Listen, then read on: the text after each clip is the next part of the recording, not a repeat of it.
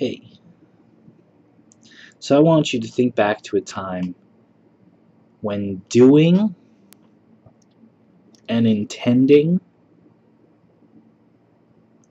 were one and the same.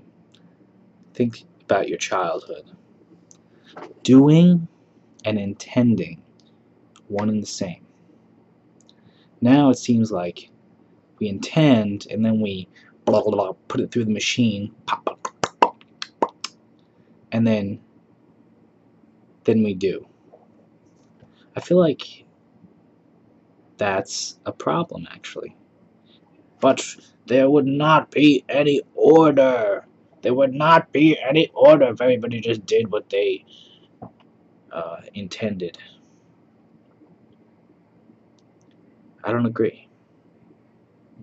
I think that we, we're, if we're meant to be harmonious beings, we should do as we intend.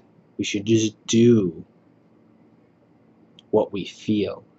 Our body should naturally, our body, voices, faces, expressions should naturally reflect our immediate emotional state. Maybe I'll just keep it that short. And at, at the very least in private situations.